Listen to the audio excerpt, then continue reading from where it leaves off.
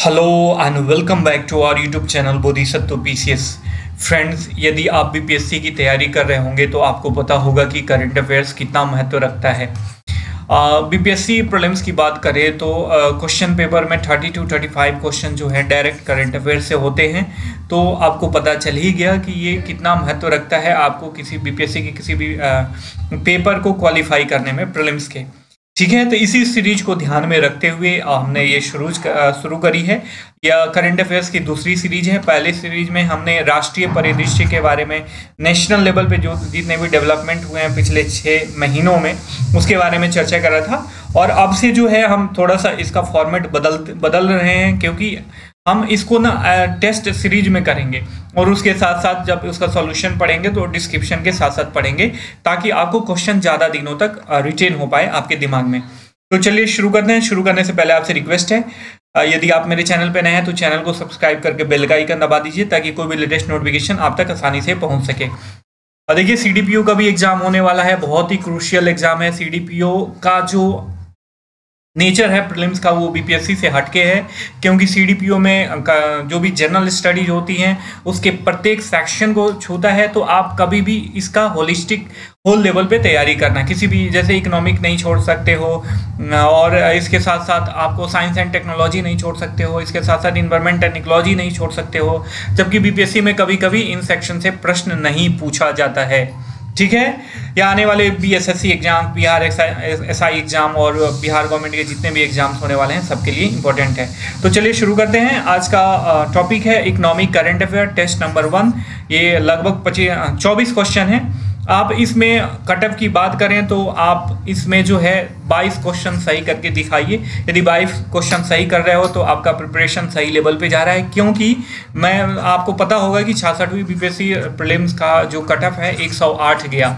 तो कितना कंपटीशन बढ़ चुका है, इसलिए मैंने कटअप भी बढ़ा दिया। चलिए शुरू करते हैं।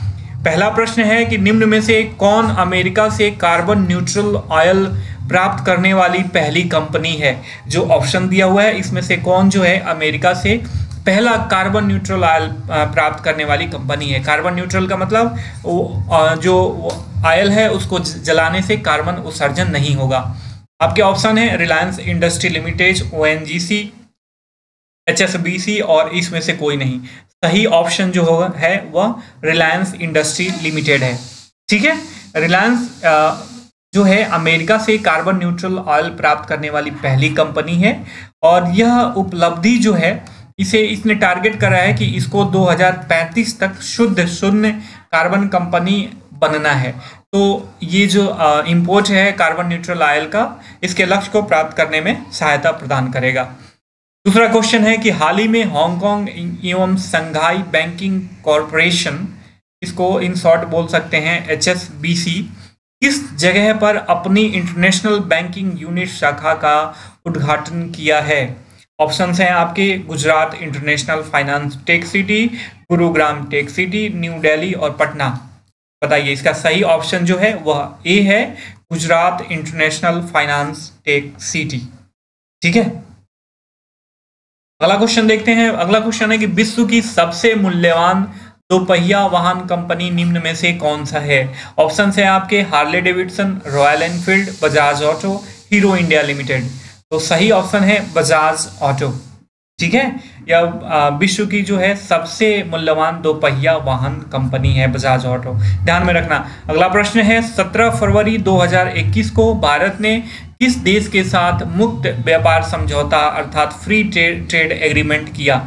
ऑप्शंस हैं Israel China America Mauritius Mauritius ठीक है फ्री ट्रेड एग्रीमेंट का मतलब क्या होता है? इंपोर्ट इंपोर्ट और एक्सपोर्ट ड्यूटी नहीं लगाई जाती है। ठीक है? किसी भी गुड्स के इंपोर्ट और एक्सपोर्ट्स पे देशों के द्वारा जो फ्री ट्रेड एग्रीमेंट में शामिल होते हैं, उस पर ड्यूटी नहीं लगाई जाती है इंपोर्ट और एक्सपोर्ट ड्यूटी ठीक है? अगला प्रश्न है, उद्योग एवं आंतरिक व्यापार संवर्धन विभाग के द्वारा जारी अद्यतन आंकड़ों अर्थात जो भी अपडेटेड आंकड़ा है, उसके अनुसार कितने राज्यों ने अब तक ease of doing business reforms को पूरा किया है? ठीक है? Ease of doing business reform को पूरा करने वाला अभी तक जो राज्य हैं, वो पंद्रह स्टेट्स हैं, जो अपने यहाँ ease of doing business reforms को लागू कर चुके हैं। ठीक है? अगला प्रश्न है कि निम्न में से कौन सा देश भारत में एफडीआई अंतर प्रवाह के मामले में दूसरे स्थान पे है? ठीक है, ये बहुत ही मतलब अच्छा प्रश्न है, थोड़ा सा घुमा के पूछा गया है। कह रहा है कि निम्न में से कौन सा देश भारत में एफडीआई अंतर प्रवाह के मामले में दूसरे स्थान पे है? तो अमेरिका। ठीक है, अमेरिका जो है एफडीआई अंतर प्रवाह के मामले में दूसरे स्थान पे है। पहले दूसरे स्थान पे मॉरिशस था। ठीक है पहले दूसरे स्थान पे मॉरिशस था, इसको हटा के अमेरिका दूसरे स्थान पे चला गया है। ठीक है, पहले स्थान पे है सिंगापुर, दूसरे स्थान पे अमेरिका, तीसरे स्थान पे मॉरिशस और माफ़ कीजिएगा, तीसरे स्थान पे जो है एक द्वीप समूह है, केमैन द्वीप समूह। केमैन द्वीप समूह, ठीक है? केमैन द्वीप समूह, ये है तीसरे स्थान पे। पहले स्थान पे सिंगापुर, दूसरे स्थान पे अमेरिका तीसरे स्थान पे कैमन द्वीप समूह और चौथे स्थान पे मॉरिशस। ठीक है? मॉरिशस को हटा के ही अमेरिका दूसरे स्थान पे गया है। अगला प्रश्न है कि 2020-21 की पहली छमाही में देश में सर्वाधिक एफडीआई किस सेक्टर में रहा? ठीक है? ऑप्शन हैं आपके सेवा क्षेत्र कंप्यूटर सॉफ्टवेयर एवं हार्डवेयर क्षेत्र, प्राथमिक क्षेत्र और इसमें से कोई नहीं। सही ऑप्शन जो है, कंप्यूटर सॉफ्टवेयर और हार्डवेयर क्षेत्र है। ठीक है? जबकि ये सेक्टर की बात हो गई, यदि राज्यों की बात करें तो राज्य में जो सबसे अधिक एफडीआई प्राप्त करने वाला राज्य है, पहले स्थान पे गुजरात है, दूसरे स्थान पे कर्नाटक है, और तीसरे स्थान पे महाराष्ट्र है। ठीक है? बात समझ में आ गई आपको? आगे बढ़ते हैं। अगला प्रश्न है कि ऑक्टेन मान किसकी गुणवत्ता का सूचक है? ठीक है? ये करंट अफेयर से स्टैटिक पोर्शन लिया गया है और पूछा है क्वेश्चन कि ऑक्टेन मान किसकी गुणवत्ता का सूचक है? ऑप्शन है डीजल पेट्रोल केरोसिन और नारियल तेल। तो ऑक्टेन मान जो है पेट्रोल की गुणवत्ता का सूचक है। जितना ऑक्टेन मान हाई होगा, उतना ही जो है पेट्रोल को अच्छा माना जाएगा। ये प्रीमियम ग्रेड पेट्रोल जो है ऑक्टेन हंड्रेड है। ऑक्टेन हंड्रेड ठीक है? इसको XP hundred brand brand name से जो है एक दिसंबर 2020 को देश में इसकी उपयोग की शुरुआत करी गई। एक दिसंबर 2020 से। किस नाम से? एक्सपी हंड्रेड के नाम से। इसे ऑक्टन हंड्रेड भी बोल सकते हैं। ठीक है? इसी ब्रांड के नाम से आ, हमारे यहाँ जो है एक दिसंबर 2020 से इसकी शुरुआत करी गई। उपयोग की शुरुआत करी गई। निम्न में से किस देश के द्वारा भारत को मुद्रा हेरफेर निगरानी सूची में शामिल किया गया है? निम्न में से किस देश के द्वारा भारत को मुद्रा हेरफेर निगरानी सूची में शामिल किया गया है? ऑप्शन है आपके अमेरिका, जापान, चाइना और इंग्लैंड। सही ऑप्शन होगा अमेरिका। ठीक है? मुद्रा हेरफेर का यहाँ से मतलब हुआ कि भारत के साथ साथ अमेरिका ने ताइवान और स्विट्जरलैंड को भी इसमें शामिल किया है। ये जो है डॉलर के मुकाबले जो है अपनी मुद्राओं के अवमूल्यन हेतु उपाय करने से के संबंध में है। ठीक है आ, इसको लगता है अमेरिका को कि ये जो देश हैं भारत ताइवान थाईलैंड स्विट्जरलैंड ये देश जो हैं अपने मुद्रा को जो है डॉलर के मुकाबले उसका अवमूल्यन कर सकते हैं। ठीक है? अगला प्रश्न है कि विश्व प्रसिद्ध इलेक्ट्रिक वाहन कंपनी टेस्ला ने कहाँ पर अपना पहला भारतीय इकाई स्थापित किया है? तो आपका सही ऑप्शन है बेंगलुरु, ठीक है? बेंगलुरु में विश्व प्रसिद्ध आपको पता होगा, टेस्ला जो है विश्व प्रसिद्ध इलेक्ट्रिक वाहन कंपनी है और इसने अपना पहला भारतीय इकाई जो है, यह बंगलुरु में शुरू किया है। किसके नाम से? Tesla India motors and energy private limited के नाम से।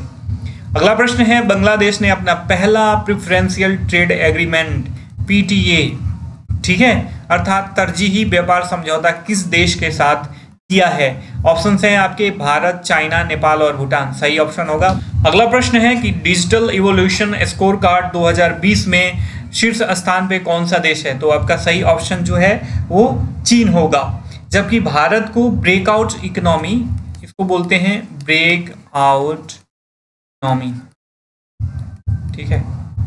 इकोनॉमी में जो है, चौथा स्थान मिला है, डिजिटल एवोल्यूशन स्कोर कार्ड में। ब्रेक आउट इकोनॉमी का मतलब होता है, ऐसी इकोनॉमी जिसमें विकसित देश होने की क्षमता हो। ठीक है? आगे देखते हैं। हाल ही में कौन सा स्मॉल फाइनेंस बैंक जो है, के रूप में लाइसेंस पाने वाला पहला शहरी सहकारी बैंक है? हाल ही में कौन सा स्मॉल फाइनेंस बैंक के रूप में लाइसेंस पाने वाला पहला शहरी सहकारी बैंक है? तो इसका सही ऑप्शन होगा शिवालिक मर्केंटाइल। ठीक है, ध्यान में रखिएगा, सारे क्वेश्चंस बहुत ही इंपॉर्टेंट है।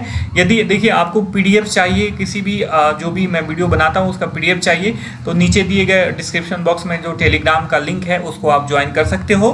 क्योंकि वहाँ पे जो है पीडीएफ के साथ साथ पीडीएफ नोट्स के साथ साथ रेंडमली क्विजेज चलते रहते हैं, जिसको आप सॉल्व करके जानकारी प्राप्त कर सकते हो। अगला प्रश्न है कि भारत का पहला सोशल इम्पैक्ट बॉन्ड जो है, सृजित करने वाला निकाय कौन सा है? ऑप्शन है आपके दक्षिण, दक्षिणी दिल्ली नगर निगम, पटना नगर निगम, पिंपरी चिंचवाड़ नगर निगम, दरभंगा नगर निगम। तो इसका सही ऑप्शन जो है, वह पिंपरी पिंपरी चिचवाड़ नगर निगम है। ठीक है? यह भारत का पहला सोशल इम्पैक्ट बॉन्ड सृजित करने वाला पहला निकाय है। ठीक है? देखिए, मूल रूप से सार्वजनिक क्षेत्र प्राधिकरण के साथ यह एक अनुबंध है, एक तरीके से, और जहाँ पर यह बेहतर सामाजिक परिणामों के लिए भुगतान करता है। सोशल इम्पैक्ट बॉन्ड ठीक है? मैं बता बता देना चाहता हूँ कि पिंपरी चिंचवाड़ नगर निगम जो है, ये पुणे में है। ध्यान रखिएगा। आगे देखते हैं, विश्व की ग्लोबल इकोनॉमिक प्रोस्पेक्ट रिपोर्ट 2021 के अनुसार 2020 में किन देशों के जीडीपी में धनात्मक वृद्धि प्राप्त की गई है? ऑप्शन हैं आपके, टर्की मिस्र बांग्लादेश तीनों।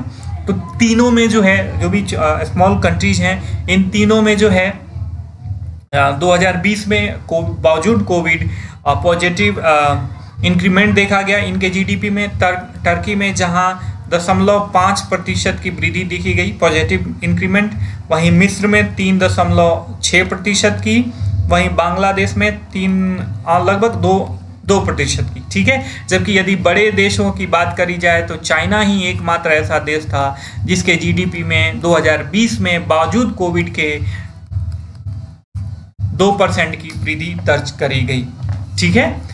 एनएसओ जो है नेशनल स्टैटिस्टिकल ऑफ़िस के नवीनतम संशोधित आकलन में प्रचलित मूल्य पर प्रति व्यक्ति आय 2019-20 में कितना आकलित किया गया है? तो इसका सही आंसर होगा एक लाख चौंतीस हज़ार एक सौ छियासी रुपये।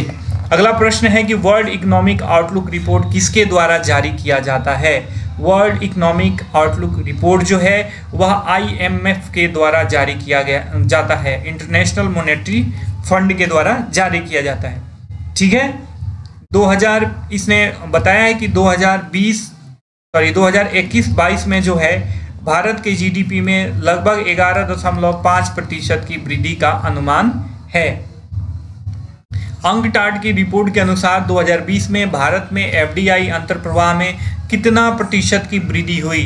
तो सही ऑप्शन होगा तेरह प्रतिशत। बावजूद कोविड, जहाँ विश्व के अन्य देशों में एफ़ डी आई अंतर प्रवाह में कमी देखी गई, ठीक है?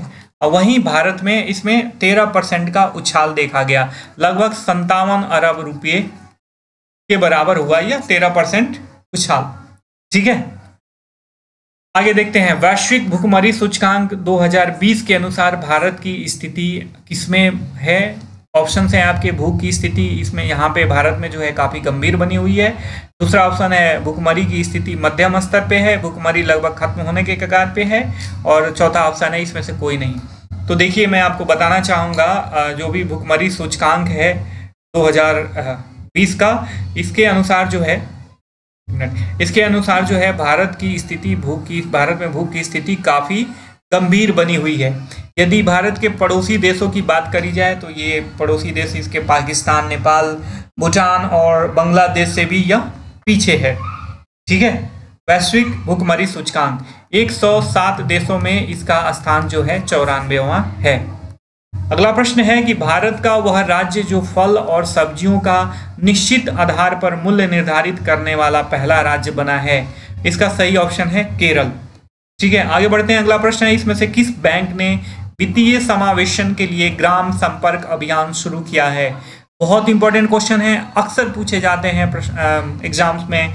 तो इसका सही ऑप्शन होगा पीएनबी पंजाब नेशनल बैंक। ठीक है? अगला प्रश्न है, इसमें से किस बैंक ने वित्तीय समावेशन के लिए ग्राम संपर्क माफ़ कीजिएगा, वही का प्रश्न है कि एनएचओ 920 किसकी प्रजाति है? प्याज, चना, लीची और मखाना। आपके सही ऑप्शन जो है, वो प्याज होगा। ठीक है? एनएचओ 920 जो है, यह प्याज की प्रजाति है। केवल 75 दिनों में तैयार होने वाली प्याज की नई किस्म है। राष्ट्रीय बागवानी अनुसंधान एवं विकास परिषद, national horticulture research and development foundation के करनाल स्थित केंद्र में प्याज की नई किस्म विकसित करी गई है, जो केवल 75 दिनों में तैयार हो जाएगी। तो ये थे आपके कुछ इम्पोर्टेंट प्रश्न इकोनॉमिक करेंट अफेयर से। आई होप कि आपको कंटेंट्स अच्छा लगा होगा। अच्छा लगा होगा तो वीडियो को ज़रूर लाइक करें चैनल को सब्सक्राइब करें और अन्य फ्रेंड्स के साथ भी शेयर करें ताकि इसका लाभ और लोगों को भी मिल सके। हम फिर मिलेंगे किसी नए टॉपिक के साथ। तब तक के लिए साइनिंग ऑफ़ टेक केयर घर में रहिए, सुरक्षित रहिए।